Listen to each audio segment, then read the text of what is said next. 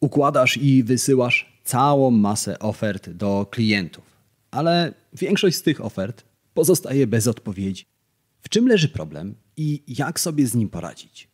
W tym odcinku podcastu Marketing z Głową poznasz odpowiedzi na te pytania i nauczysz się pisać przekonujące oferty. Zaczynajmy. To jest podcast Marketing z Głową.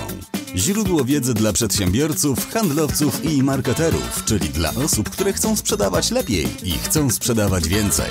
Zaprasza Łukasz Chodorowicz. Witam Cię w 72. odcinku podcastu Marketing z Głową. W tym podcaście zaglądamy do głów Twoich klientów i szukamy odpowiedzi na pytanie, jak klienci kupują. Dlaczego tak bardzo mnie to interesuje? Ponieważ dzięki temu pomagam Ci robić lepszy marketing i pokazuję, jak możesz sprzedawać więcej produktów i usług. A wiedza, którą w tym podcaście przekazuję Ci całkowicie za darmo, pochodzi z badań na temat marketingu, psychologii oraz mojego doświadczenia w pracy z firmami takimi jak Twoja. Mówi się, że nim Rockefeller stał się miliarderem, jako dziecko sprzedawał jabłka. Kupował je na targu za jednego centa za sztukę. Następnie udawał się do najdroższych dzielnic Nowego Jorku i próbował sprzedawać jabłka zamożnym paniom domów tymi oto słowami. Szanowna pani, chciałbym sprzedać pani to jabłko za jedyne dwa centy. Kobiety znały jednak wartość rynkową jabłek i w większości wypadków odprawiały małego Rockefellera z kwitkiem. Ten sam scenariusz powtarzał się przez kilka dni. Pod koniec tygodnia Rockefeller zdał sobie sprawę, że musi spróbować innego podejścia. Zmienił więc strategię i tym razem, gdy gospodyni otwierała mu drzwi, Rockefeller zwracał się tymi słowami. Chciałbym pokazać pani to świeże i soczyste jabłko, które wybrałem specjalnie dla pani. Nie tylko można nim poczęstować gości, ale też świetnie nadaje się na szarlotkę. A z pewnością spodziewa się pani gości w najbliższy weekend. Tylko dzisiaj sprzedaję jabłka za dwa centy. Tego dnia mały Rockefeller sprzedał wszystkie owoce jeszcze przed południem i zrozumiał, że w ofercie najważniejsze są słowa, nie cena. Ta historia może budzić pewne wątpliwości, ale świetnie tłumaczy różnicę między zwykłą ofertą, a ofertą, która skutecznie przekonuje do zakupu. Dlatego dziś przyjrzymy się sześciu elementom skutecznej oferty. Każdy z tych elementów jest jak klocek, który powinieneś dołożyć do swojej oferty, żeby lepiej przekonać klienta do zakupu. Pierwszym i być może najważniejszym elementem jest oferta spersonalizowana. Najważniejszą rzeczą, którą powinieneś zająć się na początku, jest persona, czyli obraz klienta, do którego kierujesz ofertę. Jest to konkretna osoba, która ma określone potrzeby, a więc niekoniecznie typowy klient, do którego kierowana jest szeroko zakrojona kampania reklamowa. Zatrzymajmy się na moment przy potrzebach persony. Chociaż ta kwestia może wydawać się prosta, przekonasz się, że nie zawsze tak jest. Załóżmy, że dostałeś maila, w którym klient prosi cię o wycenę wykonania kuchni na wymiar. Taka wiadomość sygnalizuje dwa rodzaje potrzeb: oczywistą i głęboką. Klient potrzebuje mebli kuchennych. To potrzeba oczywista. Jednak pod nią skrywa się też inna potrzeba głęboka. I ta potrzeba jest dużo ważniejsza. Żeby odkryć potrzebę głęboką, musisz odpowiedzieć sobie na pytanie: dlaczego klient potrzebuje nowej kuchni? Być może wkrótce przeprowadza się do nowego domu albo uznał, że czas na remont starej kuchni. Odpowiedź na pytanie dlaczego narzuca dalszą narrację oferty i pomaga ustalić oczekiwania persony. Oczekiwania to wyobrażenie przez klienta konkretnej sceny z życia zaraz po tym, jak otrzyma Twój produkt. Kobieta prawdopodobnie widzi siebie w nowej kuchni i słyszy komplementy, które prawią jej nieco zazdrosne przyjaciółki. Mężczyzna może oczekiwać, że wreszcie nie będzie musiał co tydzień oliwić zacinających się szuflad. Oprócz oczekiwań i potrzeby, persona ma jeszcze jedną warstwę. Nazwijmy ją punktem bólu to inaczej problem, z którym klient do ciebie przychodzi.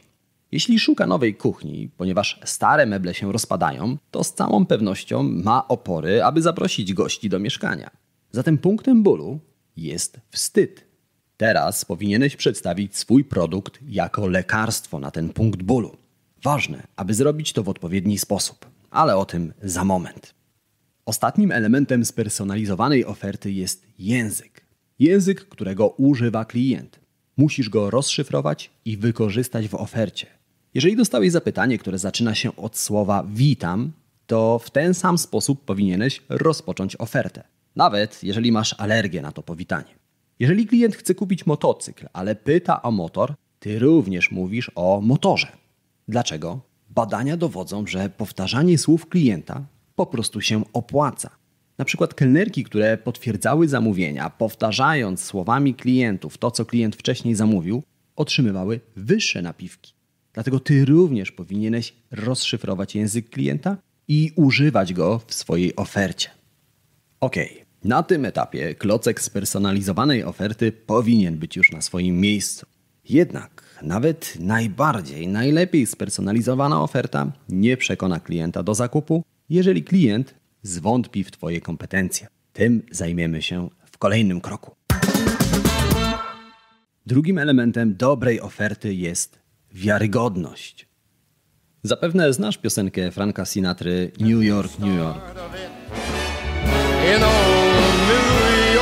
W pewnym momencie artysta śpiewa there,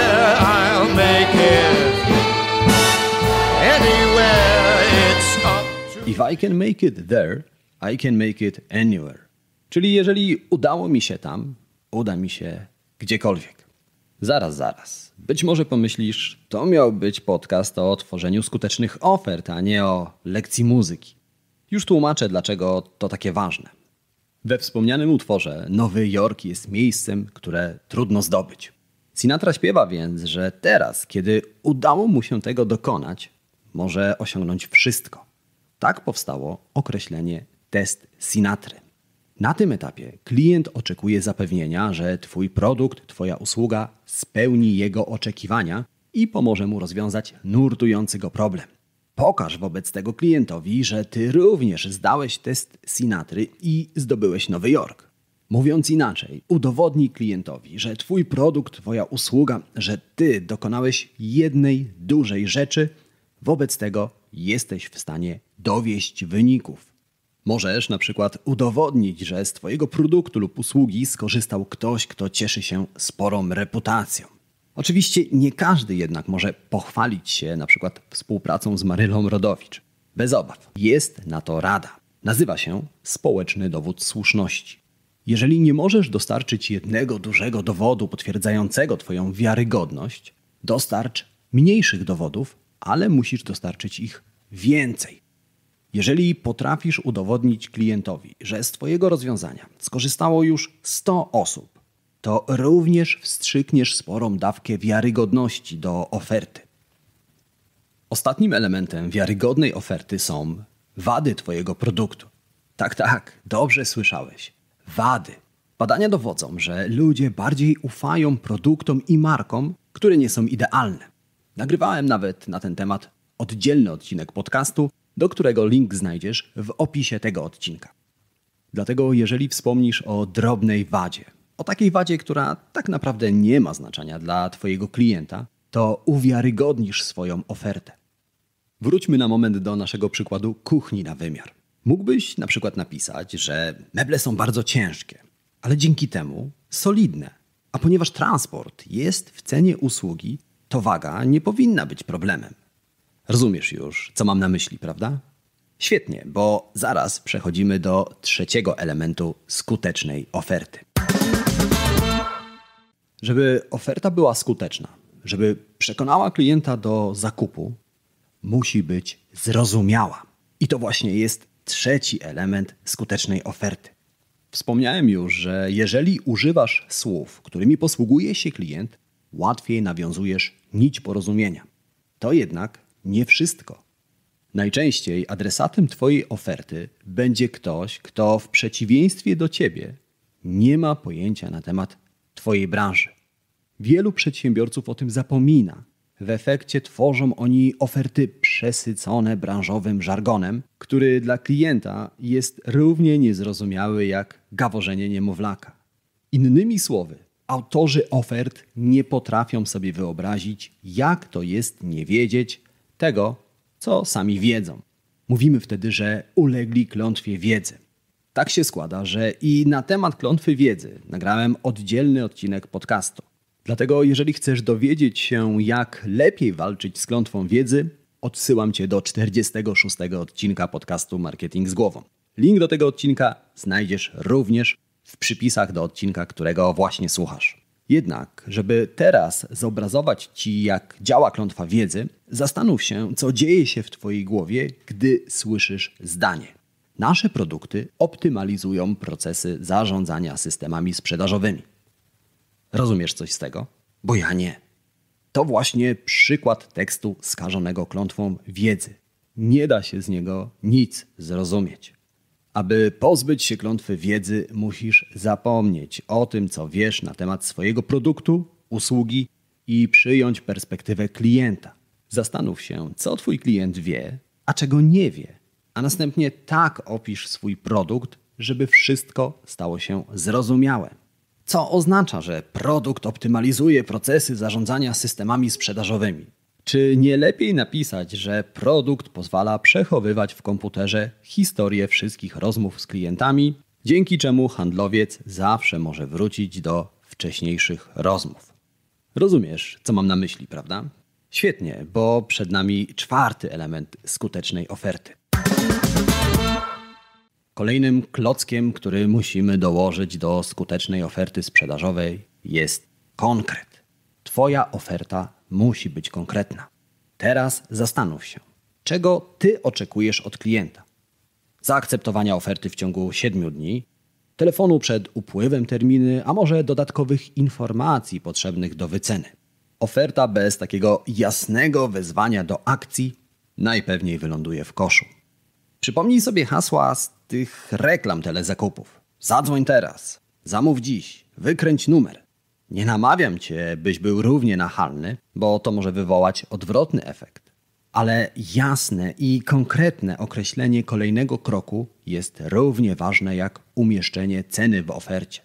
Zanim jednak przejdziemy do tego ostatniego, najmniej przyjemnego elementu, przynajmniej dla klienta, jest jeszcze jedna ważna rzecz.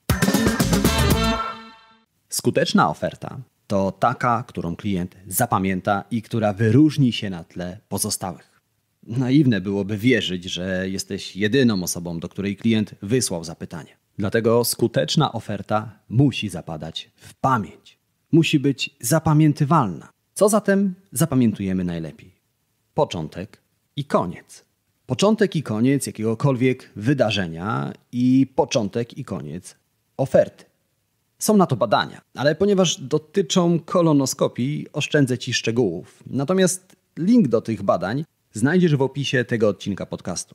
W każdym razie chcę, żebyś wiedział, że koniec oferty to najlepsze miejsce, aby dodać do niej coś, co klient zapamięta. Coś, co klienta zaskoczy. Steve Jobs kończył każdą prezentację produktu Apple'a słowami One more thing. Czyli jest jeszcze coś. A potem zrzucał na widownię bombę, bo właśnie na koniec prezentacji zostawiał sobie najbardziej nieoczekiwane i zaskakujące fakty na temat nowego produktu. Gdy Jobs prezentował nowy model iPhone'a, rozpływał się nad jego funkcjami, nad jego designem, nad jego konstrukcją. Ale na koniec dodawał: To nie wszystko bo przez ostatni rok pracowaliśmy nad nową wersją oprogramowania dla iPhone'a. Za każdym razem to, co pojawiało się po One More Thing, wykraczało poza standardowe oczekiwania klientów. Twoje zadanie w tym miejscu oferty to również zrzucić bombę. Jeszcze jedną rzecz. Pokaż, że dostarczasz więcej niż klient oczekuje.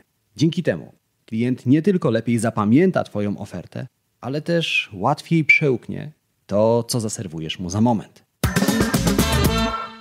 Nawet jeżeli Twoja oferta będzie spersonalizowana, wiarygodna, zrozumiała, konkretna i zapamiętywalna, ale klient jej nie zaakceptuje, ponieważ uzna, że cena jest zbyt wysoka, to niestety masz problem.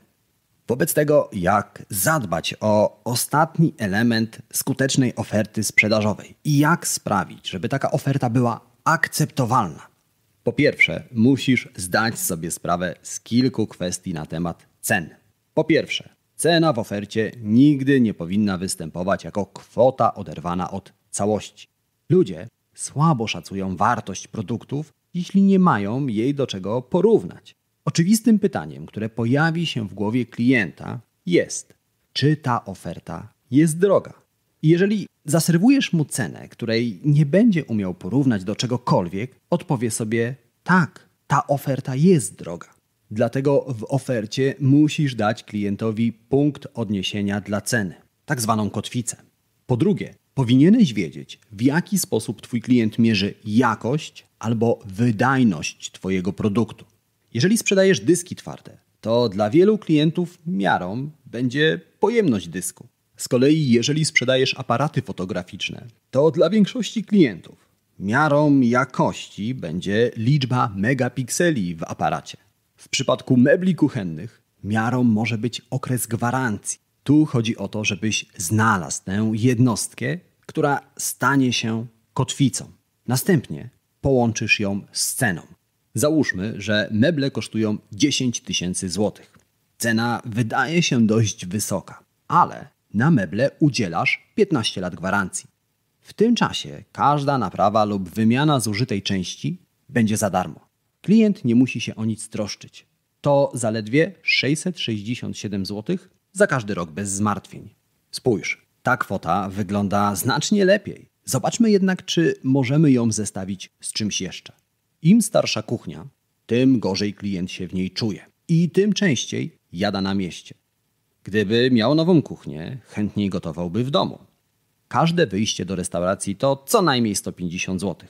Więcej, jeżeli trzeba dojechać samochodem. Wobec tego zaokrąglimy tą kwotę do 200 zł. Cztery wypady do restauracji w miesiącu to aż 800 zł. Okazuje się zatem, że nowa kuchnia to nie tylko inwestycja w spokój, ale również oszczędność. I w taki oto sposób ostatni klocek skutecznej oferty znalazł się na swoim miejscu, a Twoja oferta stała się akceptowalna. Wobec tego masz już wszystko, żeby ułożyć przekonującą ofertę, zatem do dzieła. Ale zanim pobiegniesz, trzy rzeczy, które warto wynotować z tego odcinka podcastu Marketing z głową, które zdradzę Ci tuż po dwóch szybkich prośbach. Ta pierwsza jest taka. Jeżeli znasz kogoś, komu wiedza z tego odcinka podcastu również może się przydać, kogoś, kto chce pisać przekonujące oferty, udostępnij ten odcinek podcastu właśnie tej osobie. Możesz to zrobić na Facebooku, na Messengerze, w mailu. Jakikolwiek sposób będzie świetny. Druga prośba jest taka. Jeżeli tak się składa, że właśnie słuchasz mnie w Apple Podcast albo w Spotify, wystaw recenzję pod podcastem Marketing z głową. Obie te rzeczy zajmą Ci dosłownie kilka sekund, a dzięki temu wiedza z tego podcastu dociera do nowych osób. A teraz czas na trzy najważniejsze rzeczy, które warto wynotować z tego odcinka podcastu. No dobra, tym razem jest ich sześć, ale podzielę je po dwie, zrobię z nich trzy takie zestawy. Łatwiej to zapamiętasz. Po pierwsze, pamiętaj o tym, że dobra oferta jest spersonalizowana i wiarygodna. Po drugie, Twoja oferta musi być zrozumiała i konkretna. I po trzecie, nic nie wskurasz, jeżeli klient Twojej oferty nie zapamięta i nie zaakceptuje. Na dzisiaj to wszystko. My, jak zwykle, słyszymy się lub widzimy w kolejnym odcinku podcastu Marketing z głową. Tymczasem życzę Ci udanego dnia, udanego tygodnia, samych przekonujących ofert i wszystkiego dobrego. Trzymaj się, cześć!